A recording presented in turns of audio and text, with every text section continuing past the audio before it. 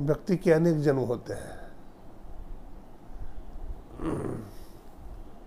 संत कबीर साहब ने कहा, लाख चौरासी भरम के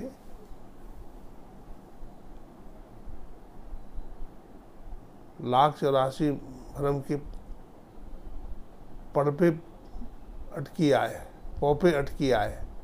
अबरी पासा ना पड़े तो फिर चौरासी जाए तो चौरासी लाख जोनी में जी भटकता है। एक बार ध्रुव जी महाराज तपस्या कर रहे थे तो भगवान छः महीना की साधना में भगवान विष्णु को प्रकट कर लिया हो, दर्शन देने आए, गरुड़ पर सवार होकर के। तो बड़े, बहुत बड़े बड़े ऋषि मुनि भी तपस्या कर रहे थे तो उन्होंने कहा कि भगवान, ये ध्रुव जी महाराज राजा का बेटा है, इन्होंने छः महीने तपस्या किया तो आप इसको दर्शन देने के लिए आ गए। लेकिन हम लोग तो दस दस हज़ार वर्ष से बीस बीस हज़ार वर्ष से पचास पचास हज़ार वर्ष से तपस्या कर रहे हैं तो हम लोगों को दर्शन देने के लिए नहीं आए इसका मतलब आप में भी द्वैत है भेद है। ये राजा का बेटा है तो इसको दर्शन दिया और हम गरीब के बेटा हैं तो आपने दर्शन नहीं दिया। तो भगवान विष्णु ने कहा, नहीं, ऋषि मुनियो, ऐसी बात नहीं है। अगर तुम्हें विश्वास नहीं तो आओ मेरे साथ।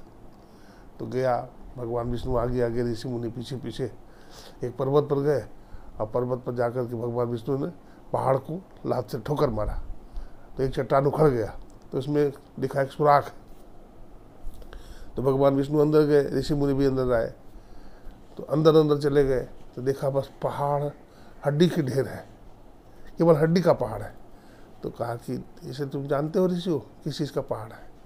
बोला, भगवान, ये तो हड्डी ही हड्डी दिखता है। बोला हाँ ये हड्डी का पहाड़ है। और ये किसकी हड्डी है तो जानते हो? बोला, नहीं, हमें मालूम नहीं है। बोला, ये प्रहलाद की हड्डियाँ है। इतना जन्म लिया है, मरा है, हमारी भक्ति किया है तो इस जन्म में छः महीना में हमको प्राप्त कर लिया है। जन्म जन्म, मुनि जतन कराए अंतराम मुख आवत है, श्री सदगुरु महाराज की जय। है तो ऐसा है।